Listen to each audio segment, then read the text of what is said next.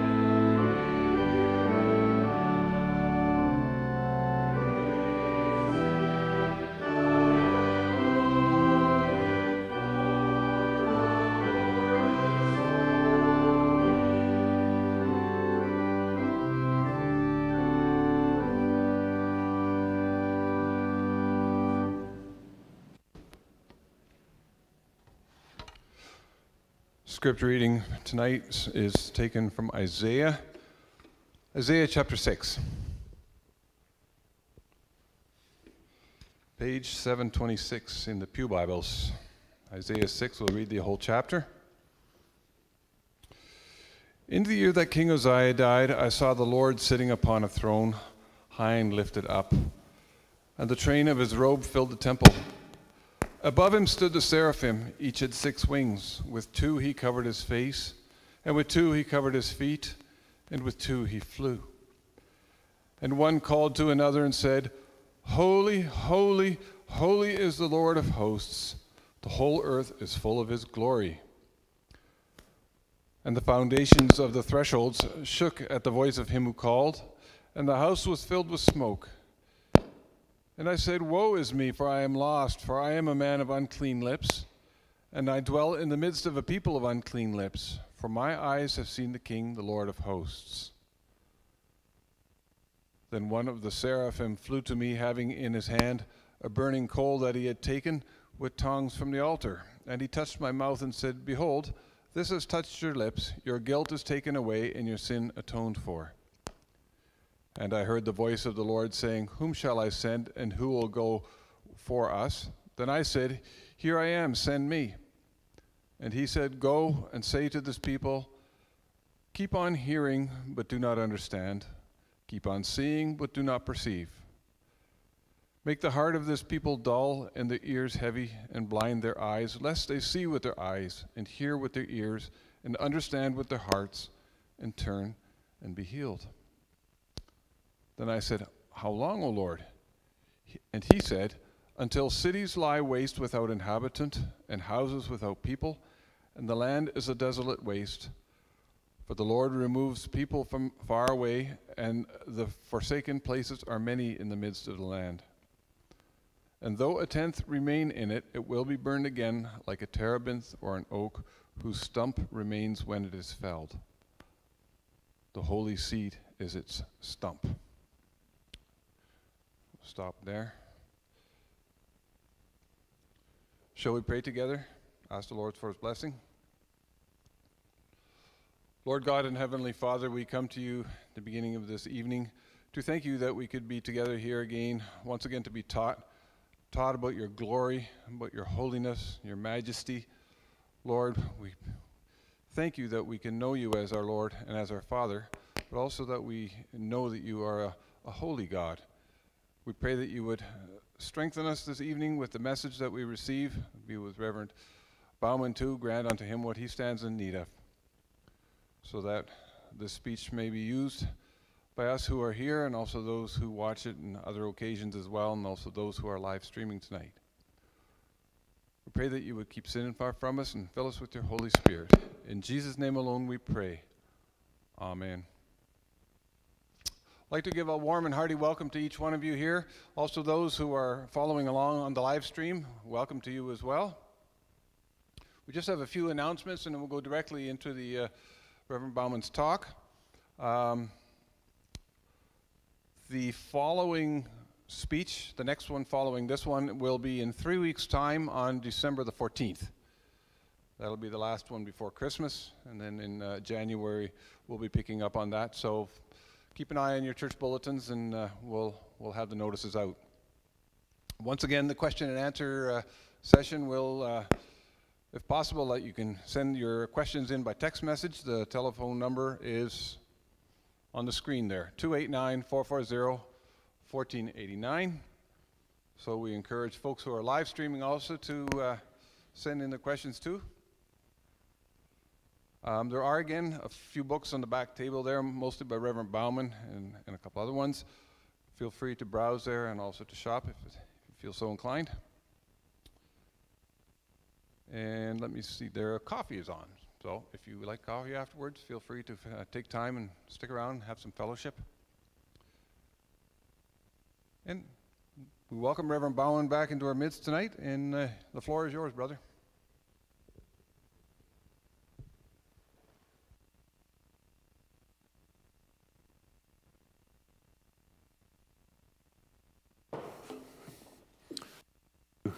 Carl and Good evening, all. Let's start with wetting the whistle, eh?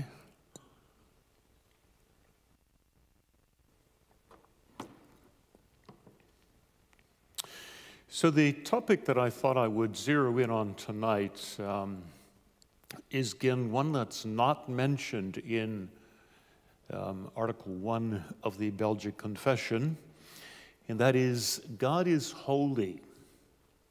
Article 1. Oh my. Anyway, there it is. Um, mentions a number of the attributes of our Lord, but not holy. It isn't there, which again raises the question um, then why deal with that? There's a couple of reasons, and the, um, the one is that our culture has humanized God, or maybe I should say, creatureized God. And it would seem to me that a term like holy is going to capture the antidote to this concept of humanizing or creatureizing the Lord.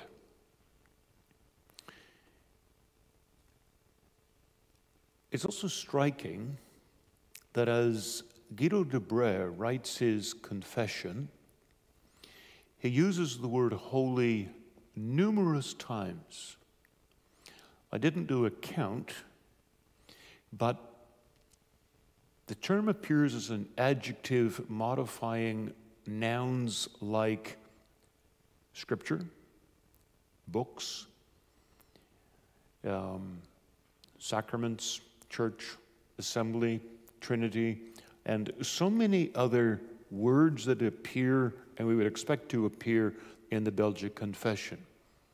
And de Brès attaches the word holy to that. But he doesn't mention in relation to God.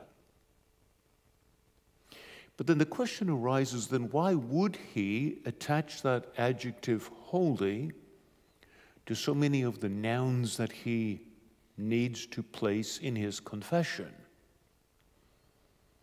And clearly we understand why there is something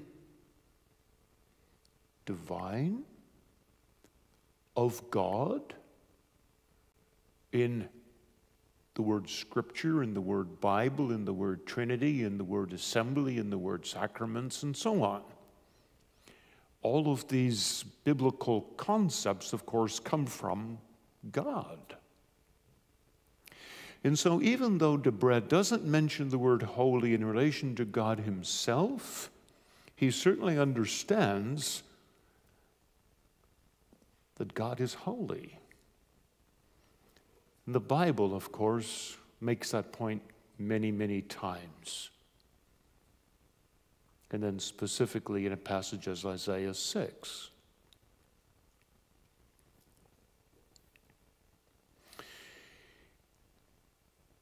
What we will notice, though, um, even as the Bible uses the word holy in relation to so many, again, nouns, priests, tabernacle, Levites, and the list goes on and on and on, um, just as the Belgic Confession does. The intriguing thing and the important thing that we need to notice up front is that the idea of holiness does not travel from people to God, from earth to heaven, but the idea travels the other way from heaven to earth, from God to people. And that's something that I want to work out and expand upon um, this evening.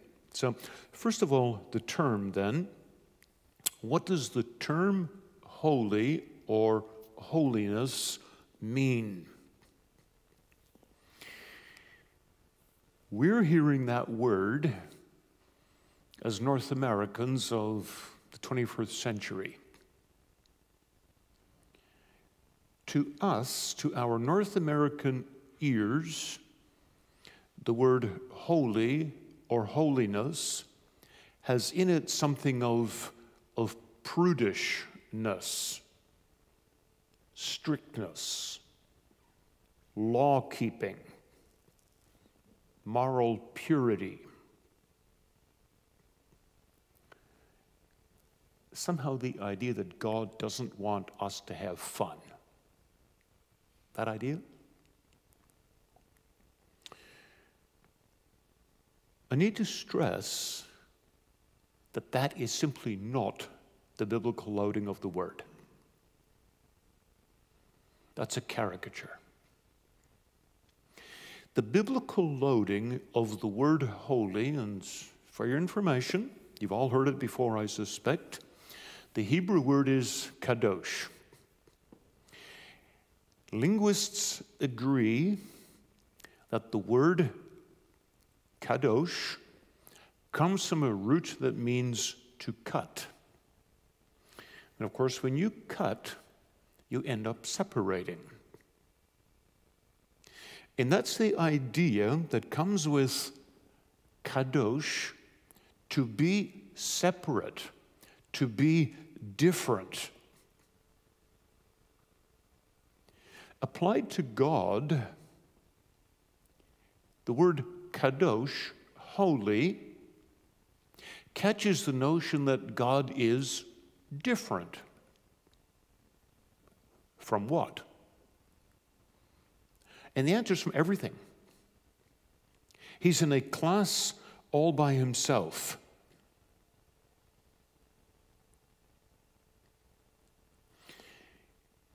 That in turn generates an intriguing observation, and that is people God's commanded us to have dominion over, and that's to say that we're also to explore and to study and to come to understand. And we do that invariably by means of comparisons, analogies. Little things like something is big. Well, in relation to what? In comparison with me or something else I'm comparing it to. Something is there. Well, where's that? Well, that's somewhere comparative eh, to where here, where I am, right? It's there, not here. It's, we, we, we always work in terms of comparisons or analogies. It's, it's how we it's how we study, it's how we come to understand, and you can that, that, that, holds true in relation to very, very small things that we use microscopes and very, very big things that we use uh, space telescopes, think of the Hubble. Um, but we're always busy with looking at things as people from where we're at. Now, how do you do that in relation to God? And that's where the word holy comes into the picture. God is in a class by himself, separate from us, anything we can see or touch. But that also means that God is un reachable by us, unsearchable by us, incomprehensible by us. He's in a class by himself. And that's not surprising, inasmuch as he's the creator and everything else is created. Obviously, the Creator is bigger, is more, is superior to the created. Created is here, Creator is there, is, is, is above. And in no place in our world do we expect or do we make to understand how we, creators, makers, made what we made.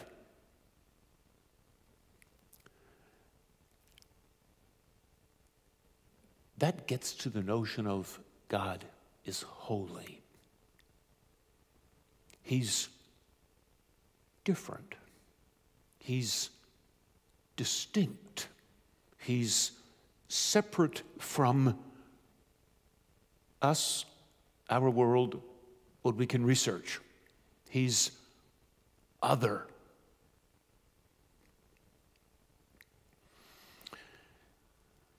Though the word holy is not in Article 1, some of the implications, what I've said, certainly are. He's eternal, he's incomprehensible, He's infinite. Words like that all have their root in the idea that God is holy, separate, distinct, other.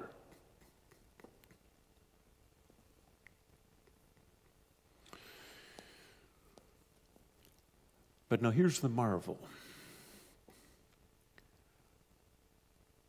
Though we creatures cannot research him because he's in a class by himself, other, holy, it's pleased him to develop a relation with creatures and in the process to reveal himself. Develop a relation.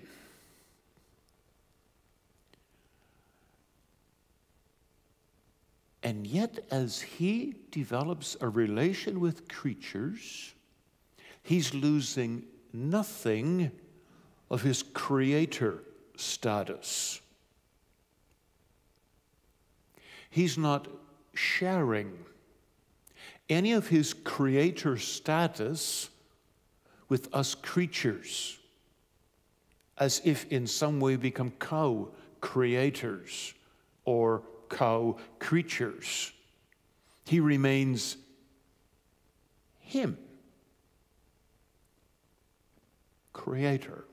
We creatures, hence distinct, kadosh, separate, yet relationship.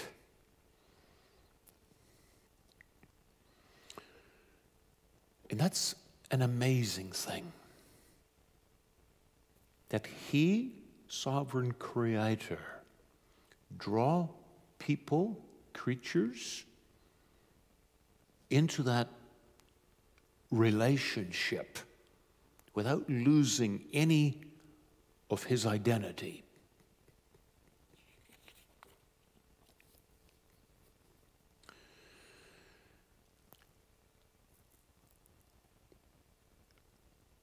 This gets also to why the Lord gave the second commandment. The first commandment, of course, that he gave to his people was, You shall have no other gods before me. And we spoke about that in previous weeks.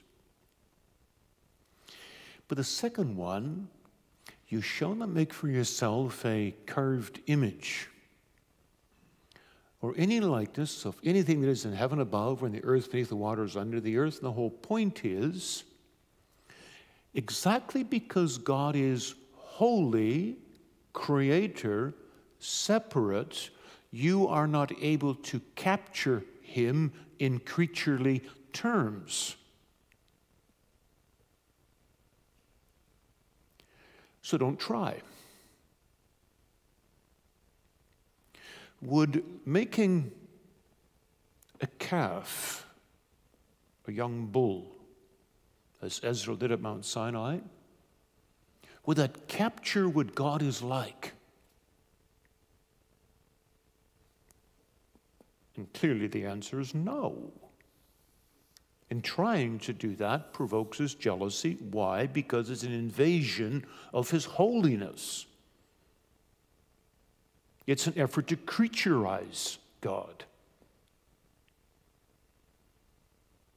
Dagon of the Philistines had the shape of a fish. Would God be okay with his people making an image of a fish in relation to himself? And the answer, of course, is no.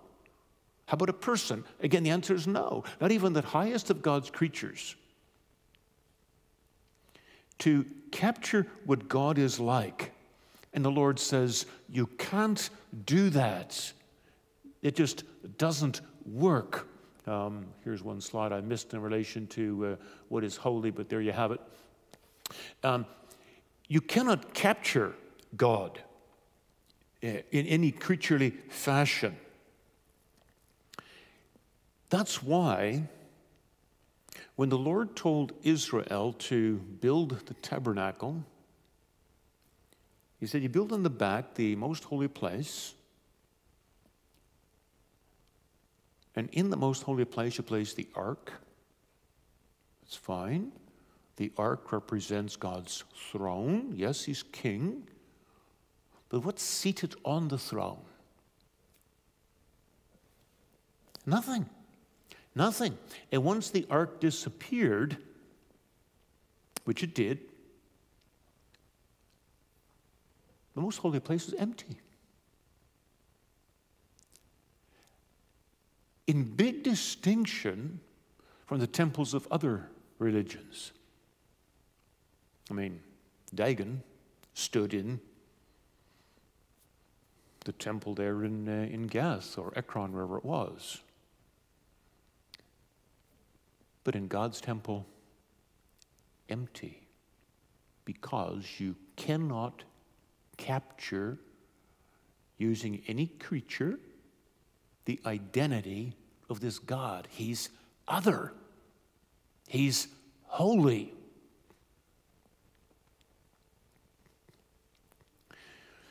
And those are concepts that have come back time and again in, um, in Scripture, even without using the actual, the actual words. Um, the discussion that Job has with his friends,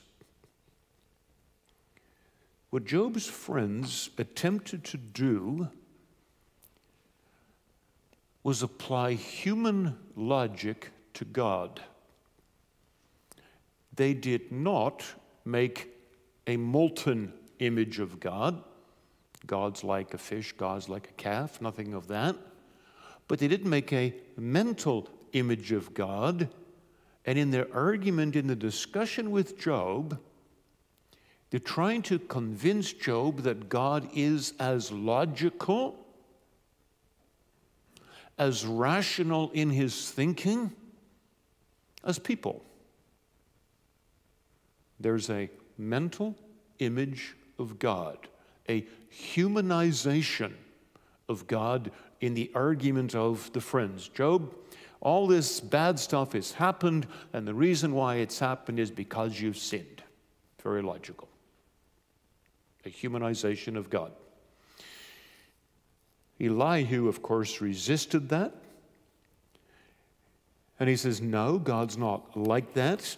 If you take Job 33, where Elihu responds to the discussion of, uh, of the friends, he says, Behold, in this you are not right. I will answer you, God is greater than man. Well, there you have it. Don't humanize God. He's greater, He's other. Kadosh. And in chapter 34, verse 13, who gave God charge over the earth? Who laid on him the whole world? If each set his heart to it and gathered to himself his spirit and his breath, all flesh would perish together, man would return to dust. And what's he saying there? This whole idea that God's so other. Okay, and, and, and Elihu comes back to that theme more often, and of course, when the Lord himself talks to Job, that he makes very clear too that He's in a category of his own. The word holy isn't used, but the concept is right there in the last pages of book of Job. But to get us, to help us get a good handle on this, I, I'd like us to, to turn to the prophecy of Isaiah. And Carl read for us chapter 6, but I'd like to start with chapter 1.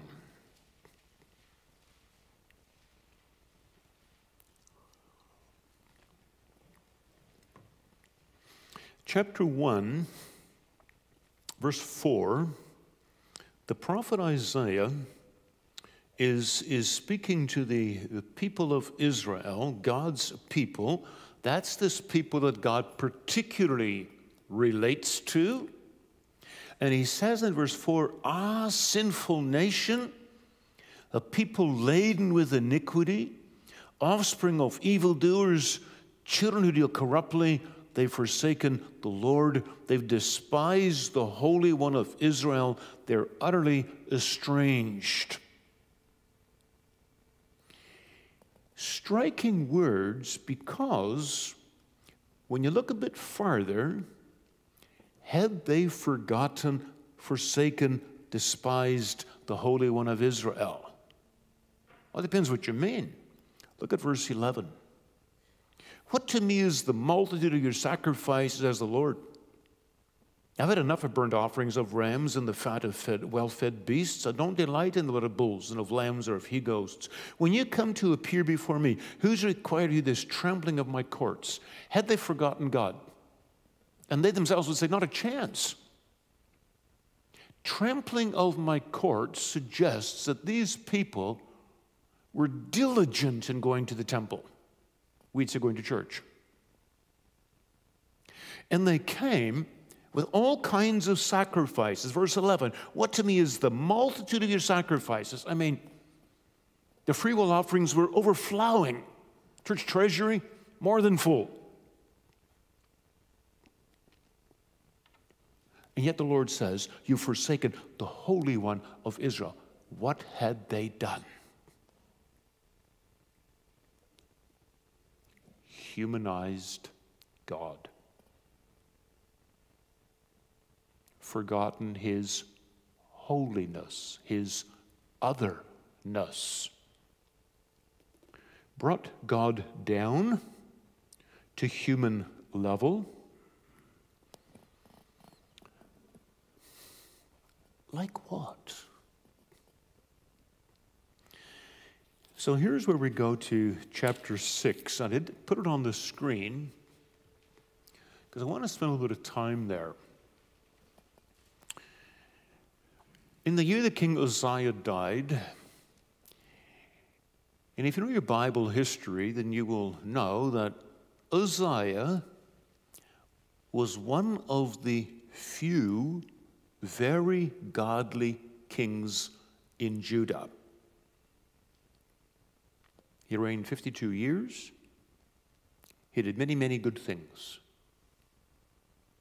Second Chronicles 28 will tell you all about it. But somewhere along the line, toward the end of his kingship, he lost sight of the otherness of God. And what he did is develop a mental image of God, a perception of God that allowed him to do what God had forbidden.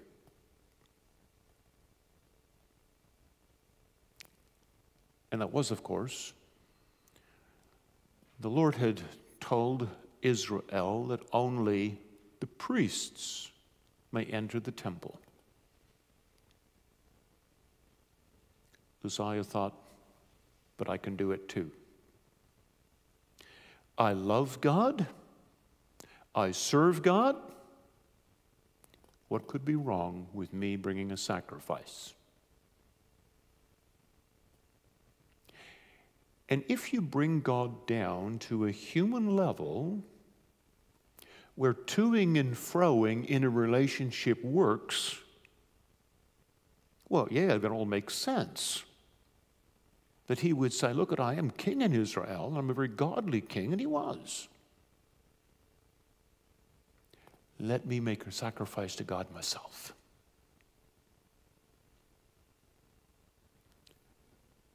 God's reaction was to strike him with leprosy. But I mention this as one example of chapter 1, verse 4. My people have forsaken the Lord, despised the Holy One of Israel. And they fix the thought in their mind we can serve God as we think is okay. Second commandment issue. We're to serve God, Lord's 35, only as God has commanded in His Word. And that's the context. The man died. In that same year, the Lord showed Isaiah and so Israel who he is. What was actually wrong with Isaiah's thinking?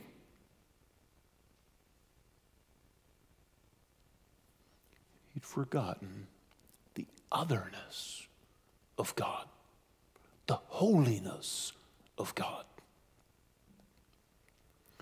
So, the Lord showed the prophet himself sitting upon a throne high and lifted up. And we hear that sitting upon a throne, and okay, yep, thrones, we know what they are. Um, that's where kings sit. The Lord's clearly the king. I mean, Uzziah died, but we have a king, the Lord's the king. Yeah. But I want to draw your attention to the words high and lifted up. What does that mean to you? Sitting on a throne, high and lifted up. And I didn't organize this with Carl, but Carl put a nice chair there for us. So we got a prop, and it's high and lifted up, yes? Is that what we're to think of? Simply an elevated, high chair, and that's where God's sitting. And the answer is no. The particular chair that God's on is so, let me put it this way. Our normal chairs, except for this one right here, about a foot and a half off the ground. The legs about a foot and a half apart, because that's the size of people. The Lord sitting on a chair high and lifted up, in the eye of your mind, see the one leg of this chair on this hill, the other leg of the chair on the other side of another hill. Get the picture? High and lifted up. This is a huge chair. Why? Because God's so other, different.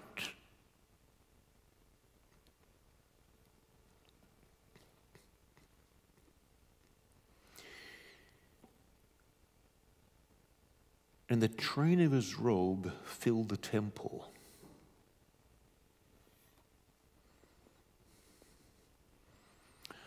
We've all seen brides coming down the aisle. More often than not, with somewhat of a train on the wedding dress. And that train may be two feet, maybe five feet. And from time to time, you see one of ten. This train filled the temple. Can you see that? A train covering all the pews, filling the aisles and the fronts and the organ and the piano and the lot. This is different. This is other, holy.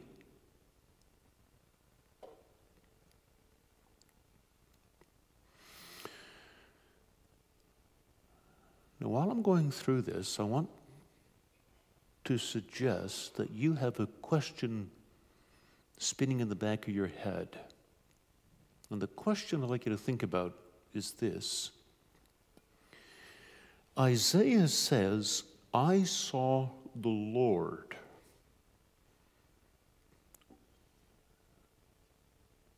What did God look like? Why does the prophet describe the chair, not the Lord? The train, not the Lord? Then we read, verse 2 Above him stood the seraphim.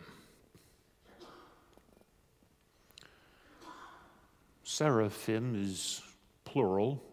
I am is the Hebrew way to make something plural. But the word seraph is actually the Hebrew word for burning. Presumably, these are angels. This is the only time in the Bible where we read about seraphim. Why are they called burning ones?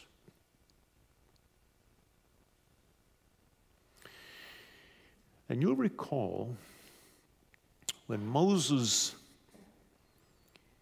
was at the burning bush Why was it burning? What was the significance of its burning. The point is, God was there. So other, so distinct, so different that the bush in his proximity burst into flame.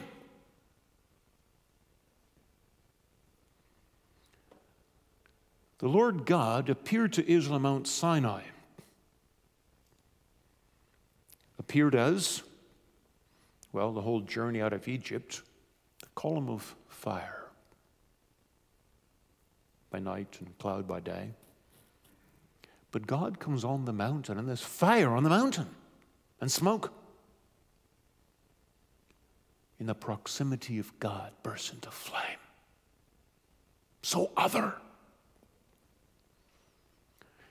Angels burning. The presence of God burst into flame.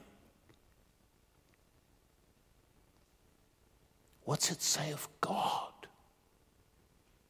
So other, different. Each had six wings. With two, he covered his face. Why? And these are heavenly creatures. They're not touched by sin but they can't look at God. Why?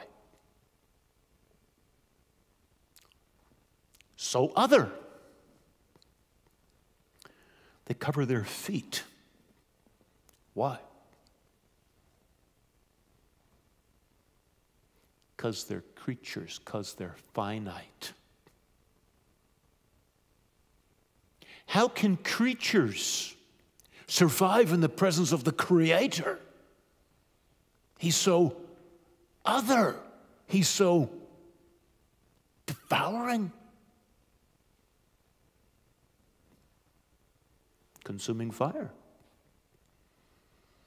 And with two, they flew.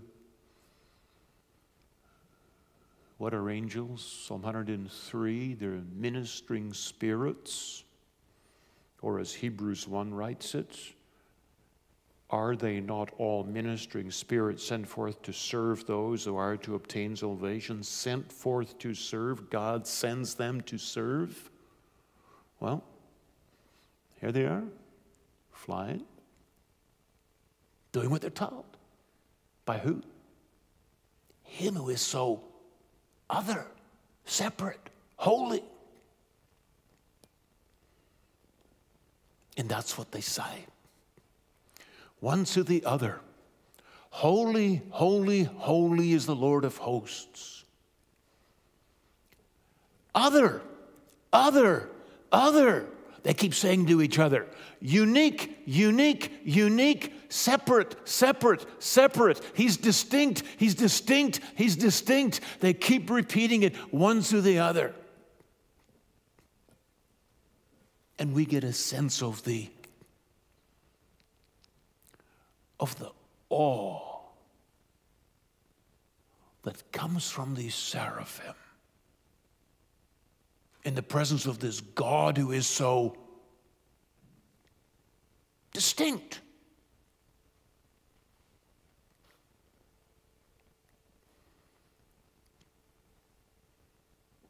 And then the passage says, the whole earth is full of his glory. Where's God?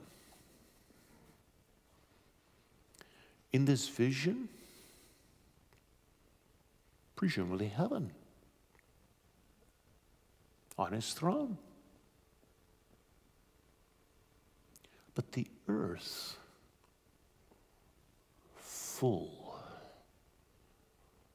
His train filled the temple. The temple was only that big compared to the earth. His glory filled it. But now, what's His glory? What's that term mean? glory. The actual Hebrew word translated as glory captures the notion of, of impressiveness, of weightiness, gravitas.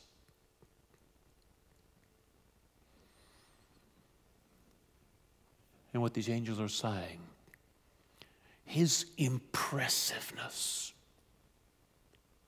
is obvious in every corner of the globe, fills it. That glory, what is it? That's the overflow of his holiness. That's the, the expression of his otherness, what makes him distinct and not a corner of the earth where you can't see it. His otherness, his too muchness is everywhere. And the seraphim themselves cover their faces. Then what should the Israelites do, right?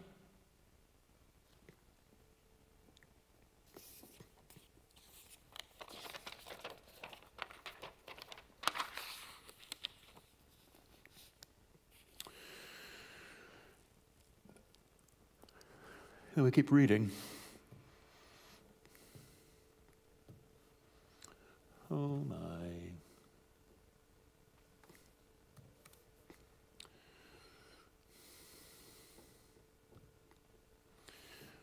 While they're calling back and forth, the foundations of the threshold shook at the voice of him who called. And of course, that's the seraph one calling to the other. If God's servants in their call generate that kind of response, foundations shake. What's a foundation?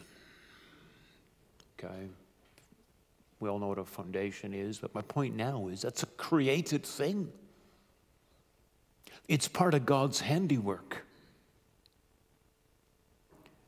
when the Creator, distinct as He is, His servants say what He is Kadosh, Kadosh, Kadosh.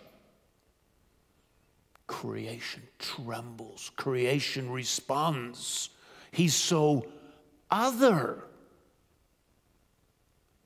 And again, right? We find that theme time and again in the scriptures, like Psalm 29 with God's lightning, God's thunder, and right, the Holy One, then creation responds. Awe. And then we read the whole house is filled with smoke. The fire of God, the presence, the otherness. Yeah. Deuteronomy 4. Our God's a consuming fire. And it looks it. All right. And I said to you, please have this question spinning in the back of your head. Why doesn't the prophet describe God for us?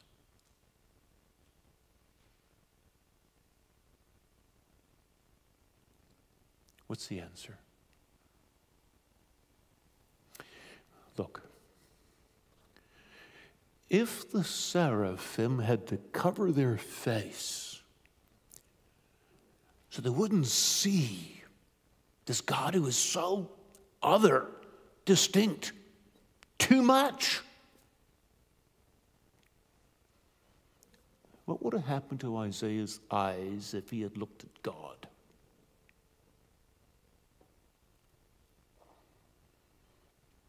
You recall the Lord's word to Moses, Exodus 33. Moses wanted to see God. Show me your face, Moses said. And God's response was, No. Because no one can see God and live.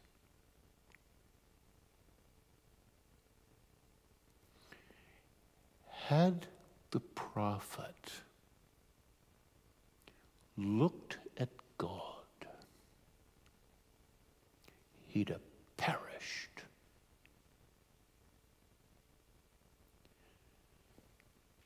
Creaturely eyes are made to see creaturely things.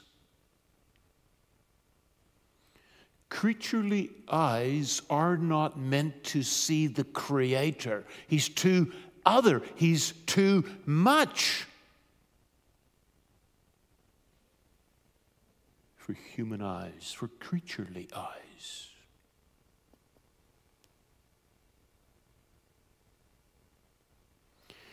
On top of that,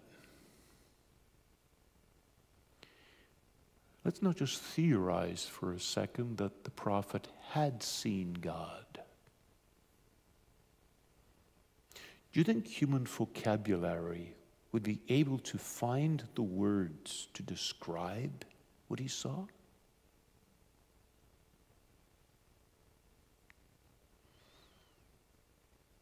The prophet Ezekiel, chapter 1, sees a vision of God, but again, he doesn't describe God, but what's around God. The most common word in Ezekiel 1 is the word like, the word as. Because you can't find human words to adequately describe what's around God, let alone God Himself. Too other, too much for humanity to take in.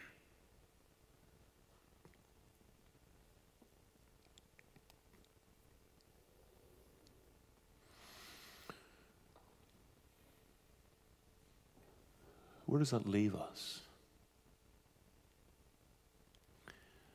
Where it leaves us, the takeaway that it simply needs to be seared into our minds and hearts. That God is too other, is too distinct, is too different for any of us to develop an accurate mental picture of who he is, let alone an accurate molten image of who he is.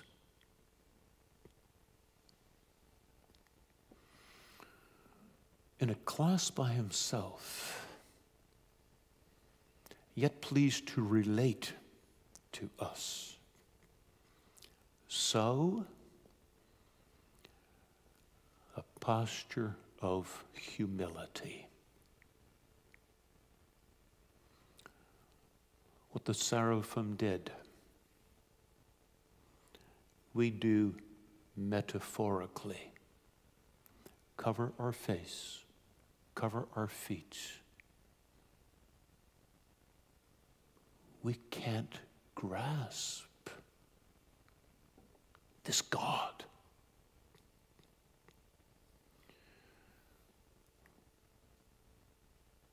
And that speaks to the words of Joshua.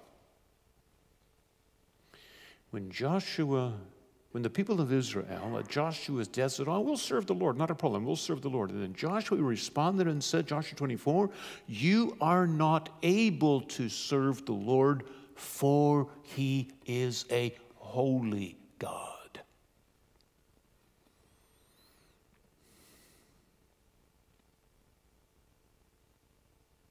And if that was true of Israel, it's true of you and me.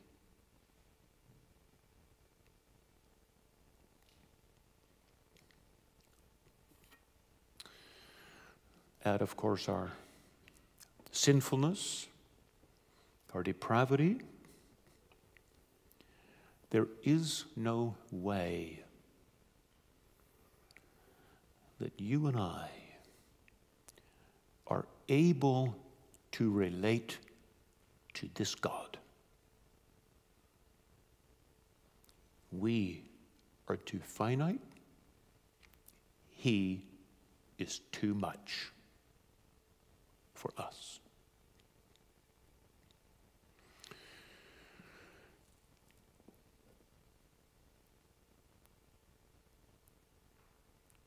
And yet, he relates to us. I'd like us here um, to, to, to take in the next section of the chapter here, verse 6, uh, verse 5, sorry. Isaiah sees God and what's around God, and he says, Woe is me! I'm lost. I'm a man of unclean lips. I dwell in midst of people unclean lips. I've seen the King, the Lord of hosts. And there is that sense of humility. A sense of humility that must, that will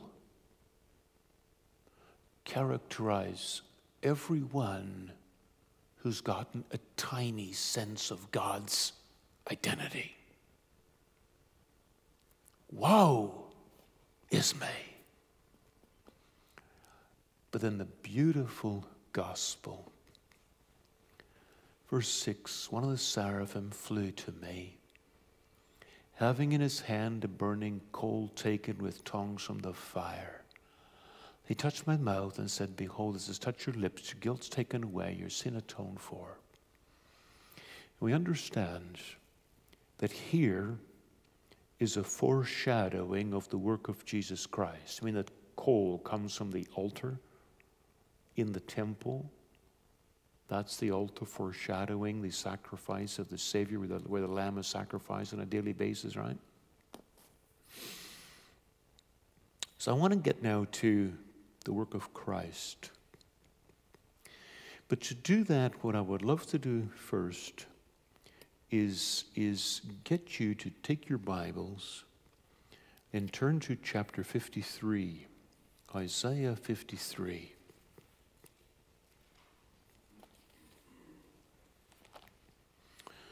And you can keep a finger if you want at Isaiah 6. We'll go back there momentarily. But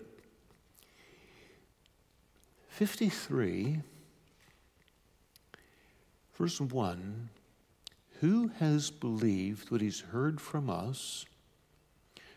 To whom has the arm of the Lord been revealed? For he grew up before him like a young plant and like a root out of dry ground. He had no form or majesty that we should look at him, no beauty that we should desire him. He was despised and rejected by men, a man of sorrows and acquainted with grief. And as one from whom men hide their faces, he was despised, and we esteemed him not.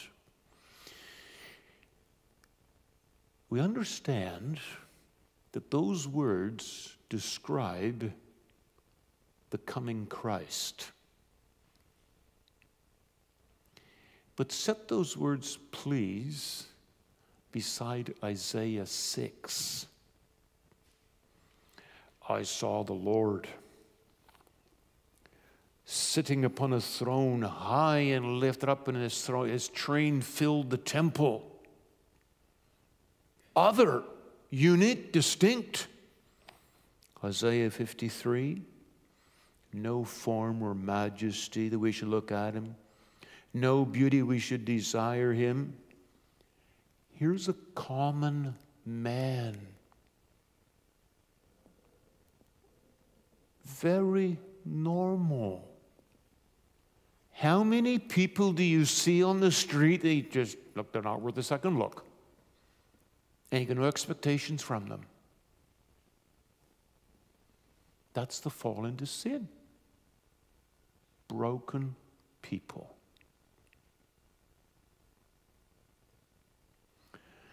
Now turn to John 12.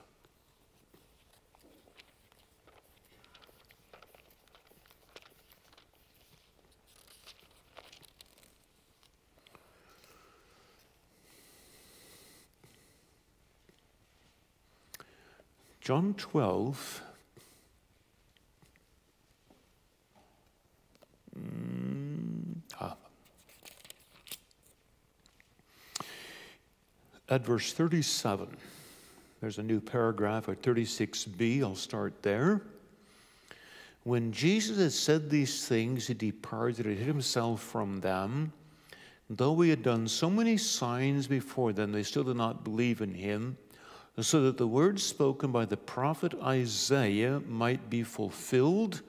Lord, and this is Isaiah 53, verse 1 He Who has believed what he heard from us, and whom has the arm of the Lord been revealed? Therefore they could not believe. For again, Isaiah said, He's blinded their eyes and hardened their hearts, lest they see with their eyes, understand with their hearts, and turn, and I would heal them. And that is a quote from Isaiah chapter 6.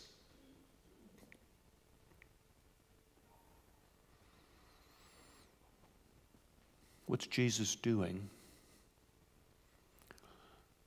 He's laying chapter 6 beside chapter 53 chapter 6 about that otherness, the too muchness of God. Chapter 53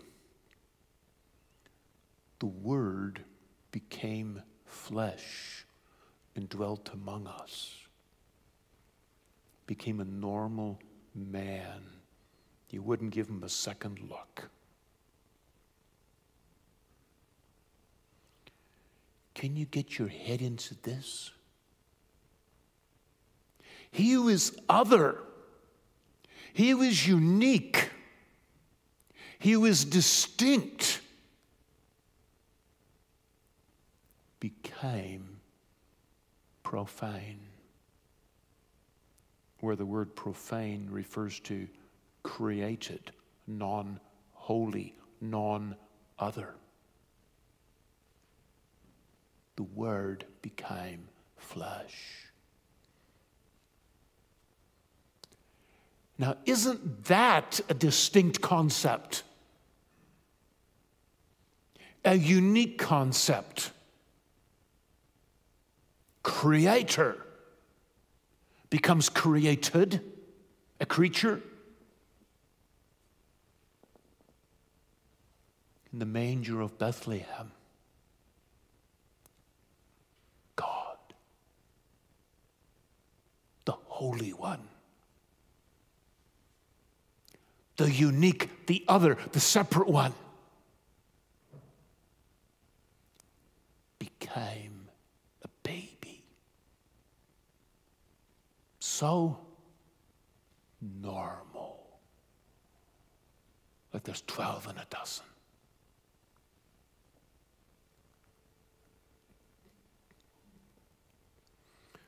And then John writes, chapter 12, verse 41 Isaiah said these things, quoting chapter 53 and quoting chapter 6. Isaiah said these things because he saw his glory.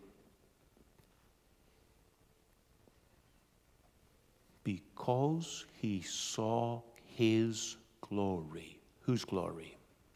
Ah, Jesus. Yeah.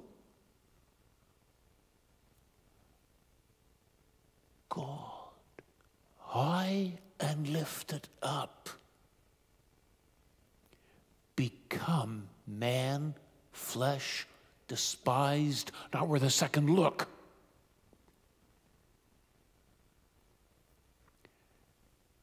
And he says, Isaiah saw his glory, saw his impressiveness, saw the outflow of his otherness.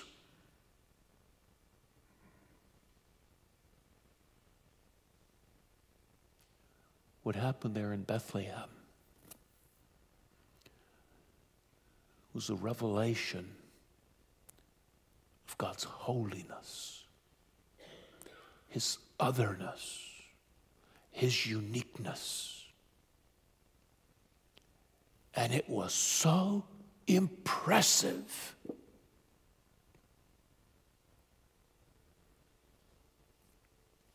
And the same is true in relation to Jesus' crucifixion.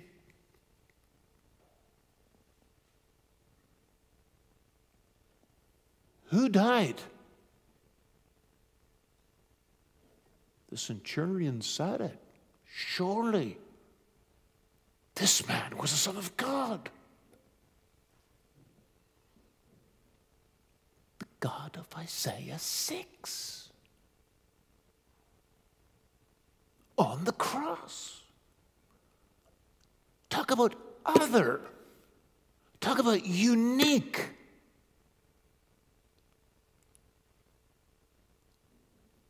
But that's the glory the impressiveness, the weightiness of the gospel.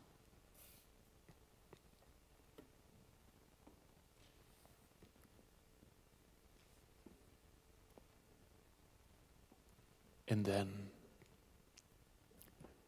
what should we say of the Holy Spirit?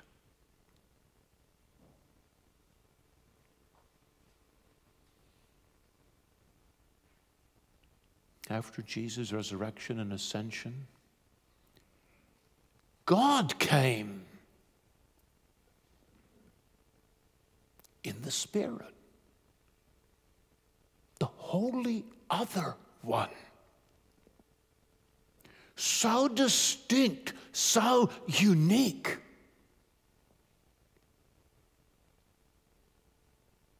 And makes his home in your heart and mine. 1 Corinthians 3, don't you know your bodies are temples of the Holy Spirit? Of the Holy Spirit? Of the high and exalted one? You can't begin to grasp him, he's too much, and yet lives in people, relates to people. it's also awesome.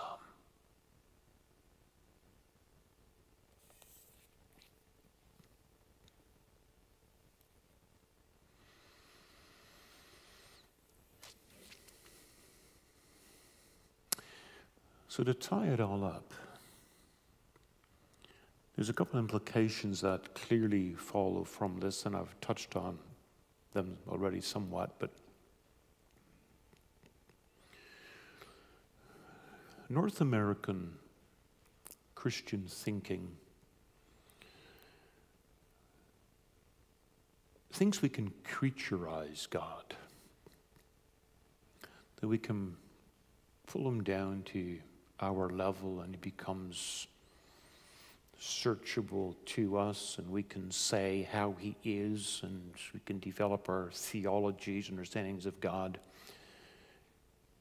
He's our size.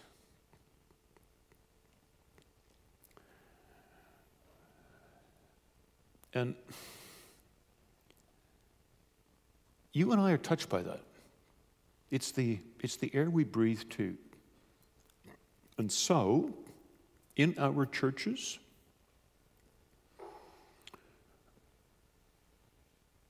sermons on the love of God, on the kindness of God, on the mercy of God are more palatable than sermons on the wrath of God, severity of God, holiness of God. The idea that he's so other, that he's unique, that we can't pull him down to sort of understand Him, it doesn't sit right to my sinful nature.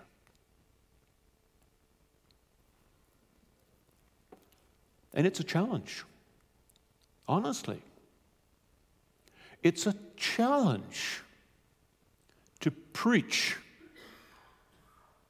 the holiness, the otherness, the greatness of God, and hence his jealousy, his wrath, his intolerance of sin. I say it's a challenge because the preacher's going to get pushback. Because they're not polite things to say in our tolerant day.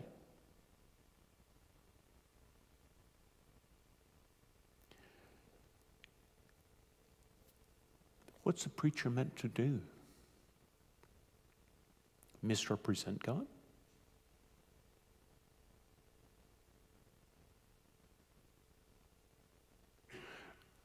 We know the answer to that question, obviously.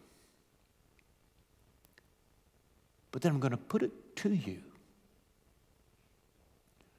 Insist that your preacher speaks up the uniqueness, the otherness, the holiness, the too muchness of God. That's the antidote that we're needing today in the context of bringing God down to our level and look, he's, he's buddy buddy with God and that, that, that sort of that sort of thinking. If God, other as He is, unique as He is, came to be one of us, flesh, Christmas, Calvary. Understand from that, please understand from that how much he hates sin. And how much he loves us. Yes, that too. But you've got to catch both aspects.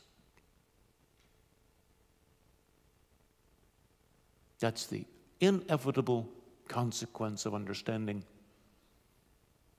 his holiness.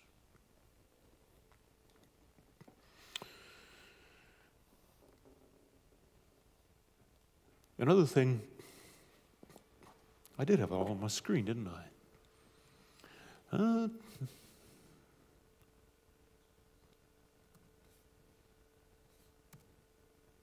okay. There. Resist mental images. God's friendly, God's my size, God's love, God's kind. Ah, that part's true, but there's far more to it, right? Resist making mental images. God will never fit in your mind or mine. But in, connected with, uh, in connection with that, this God does things in our lives.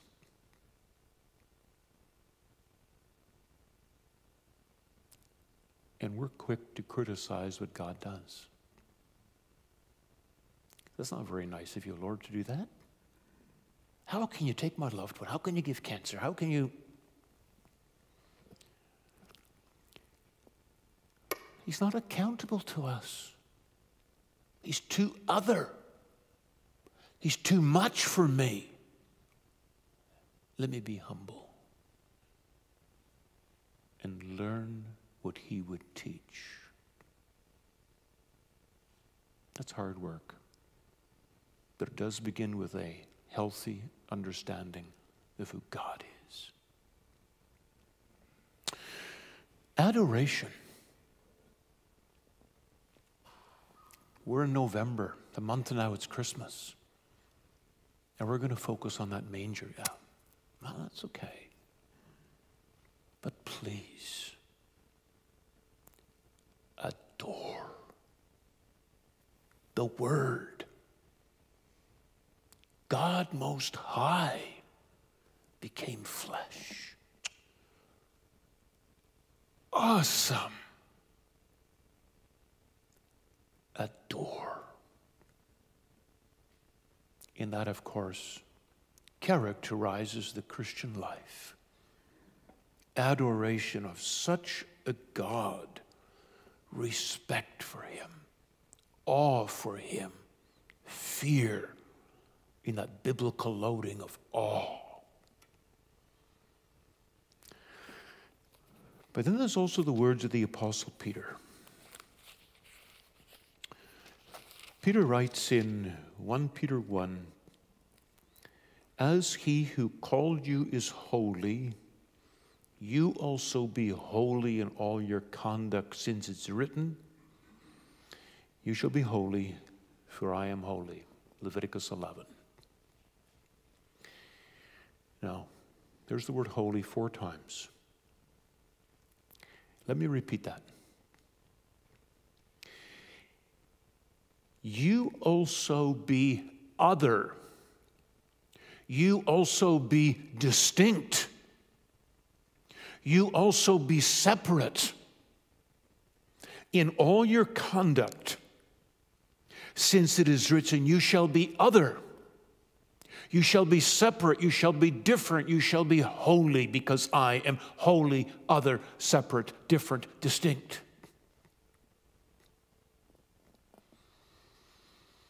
That's written by the Apostle Peter.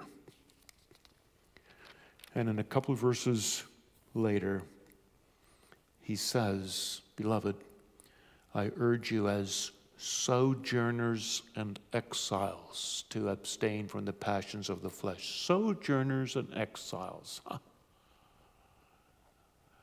If you're other, if you're different, if you're separate, if you're unique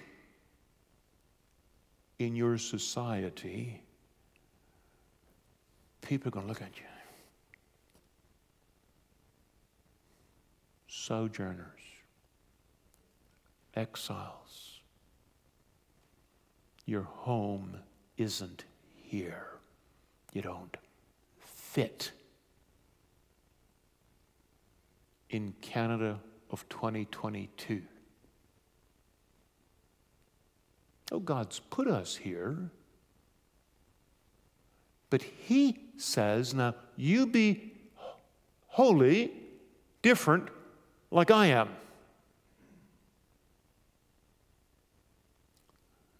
And so, Canadians around you are going to say, they're funny people. They're different. And now the question is if your God is so other, are you okay with being other?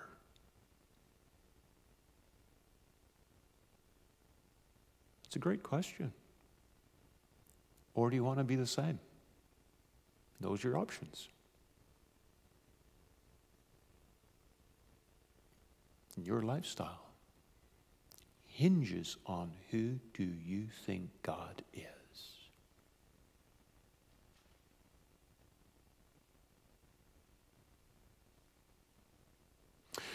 So that's my story for tonight.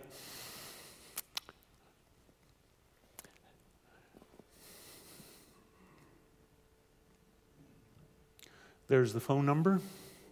Feel free to use it.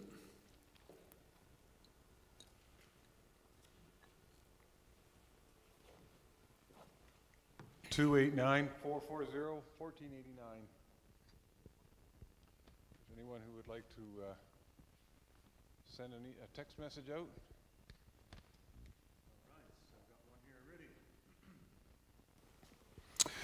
Does it mean anything that Isaiah 6 1 spells Lord instead of Lord? No, that's a good question, isn't it? There you go. Isaiah 6 1 um, spells the word Lord. I saw, in the Eighth as I saw the Lord sitting upon the throne, and the Lord there is written in lowercase letters, and then in verse. Um, why is that so?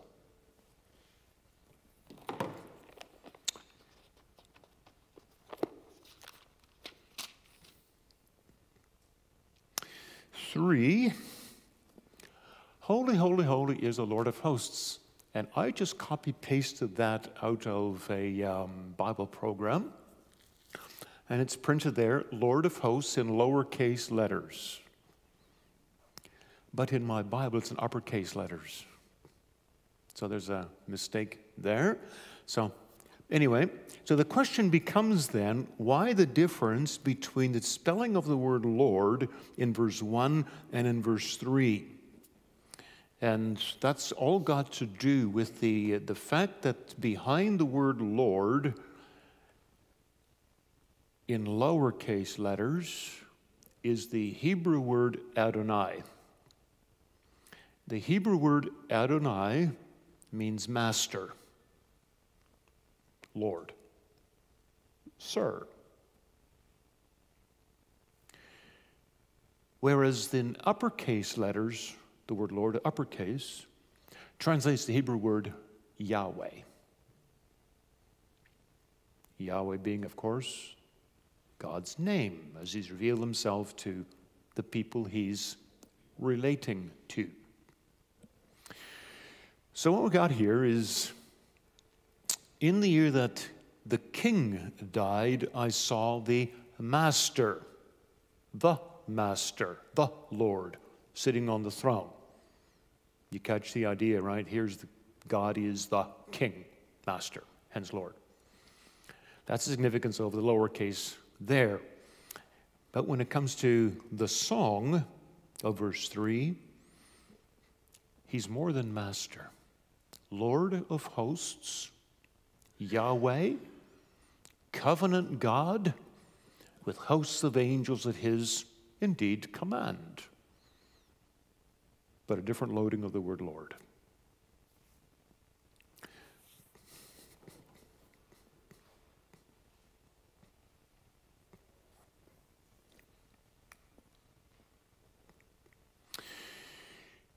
What do you make of the seraphim covering their eyes and feet? Should we also be approaching the Lord in a different, humble posture?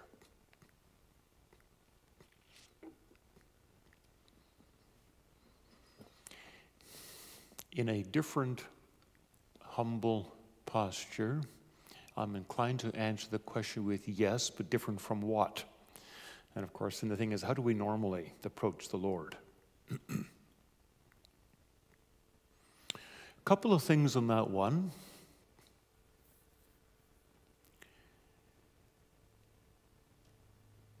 There is a There used to be the habit of, of, um, of families doing an evening worship on their knees. I once visited a family in Holland, um, and just before bedtime, um, the um, father in the house um, led in devotions, and the whole family gets off their chairs and turns around and gets on their knees and bows before the throne of God. Okay, is that? But something of that humility. I was raised to uh, go on your knees beside your bed when you pray. Right? But again, there's that sense of humility. Now, whether it requires that physical prostration or some metaphorical equivalent thereof. We can discuss that. And, but I do think that um, we have lost that sense of humility in the presence of God. And that's a very general statement. Um, and what's the evidence I would point to is not necessarily do we get on our knees, but I do think there's something about the kind of language we use. Um, a sense of awe. We're in the presence of Him who is so different, so other, too much. But the language, if I may dare say it, among so many of us has become quite colloquial. And we talk to God not all that different from how we talk to our buddy. And I know there's that's one ditch, being too colloquial, and the other ditch is, yeah, super pious kind of talk. And that's not right either. But I think we have, yeah, veered too far into the colloquial and lost a sense of his otherness. And I would plead that we restore a, a, a, healthy understanding of who God is. And that comes out in how we speak to Him. Another little example of that is um, it, it, it, puzzles me, um, or puzzles, and it bothers me too.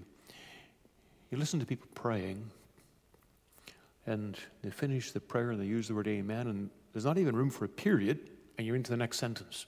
Go back to work, on, on, on to the business at hand. And this whole idea of stepping out of God's presence and getting back into what we're doing now. And, and, and no, you've been in God's presence. That has got to, that has an impact on you. And again, so, so yeah, is something we can learn here from, uh, from uh, the seraphim posture? Yes, there is. Absolutely.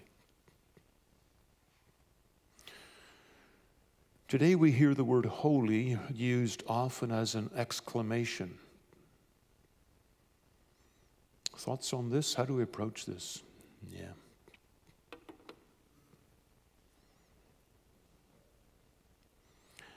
As an exclamation, eh? Holy cow. And I think, no.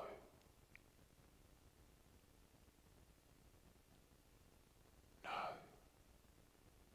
That word describes my God and not my cow. And use that as, a, as an expression of. Uh, frustration or amazement or whatever the case might be. How to approach it? Just describe it for what it is. That's who God is. Uh, no, I shall not use words like that in profane ways.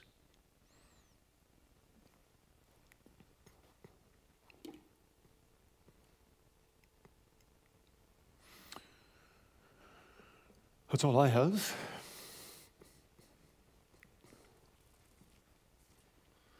Okay, we are running out of time now, so I want to thank Reverend Bouwman for uh, presenting this topic, very significant one, and also for those who gave questions. Our final closing hymn is going to be hymn number five. There are four stanzas in hymn number five. Reverend Bouwman will close with prayer.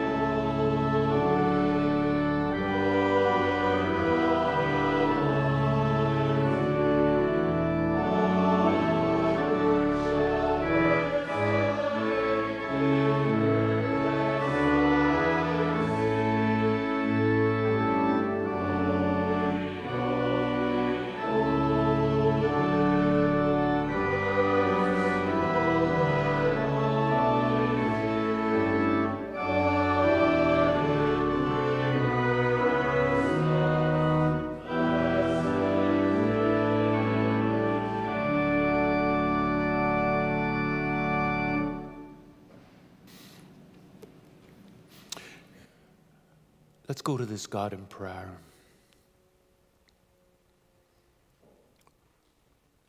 Lord God, holy, holy you are,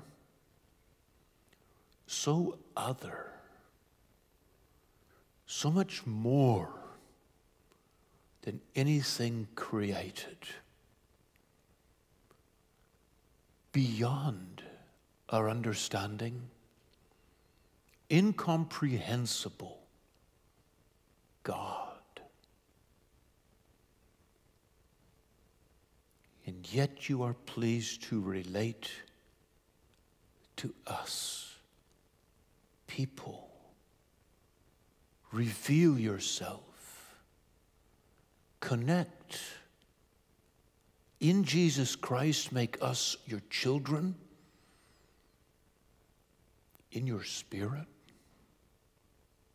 dwell within us. It's also mind boggling, Lord. Who are we? Dust. To be temples of the Holy One. Who are we? Creatures, sinners privileged to image you, reflect what you are like in some little way. You make us so rich to be made your people, heirs of God. You would dwell on this earth with us forever it's also wonderful. And we confess, Lord, that it's so tempting for us to develop a creaturely concept in our heads of who you are, and then assume that you have to satisfy our criteria, our understanding, and to our shame, we acknowledge that we dare to criticize you, the God we've brought down to our level. Lord, we repent of that and pray that you forgive our sins and grant us your grace to adore you for who you are, ever to stand in awe that this God, so other, so unique, is our Father, and we your children. And Lord, as we carry on with our lives in this world of yours and speak within our families and congregations and community about who you are. We pray for grace to give an accurate presentation of your divinity. This world so confused. Also about who you are.